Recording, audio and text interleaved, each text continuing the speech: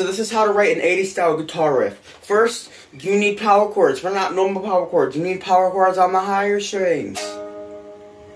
Next, you just need speed. You need a chorus effect and some compression pedal and a some sort of distortion on your guitar.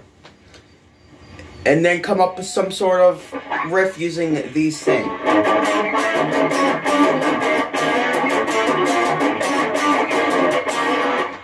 Very 80s. But if you add even more chorus, add, add even more compression, and even add some EQ to that compression, it'll sound even better if you keep adding speed.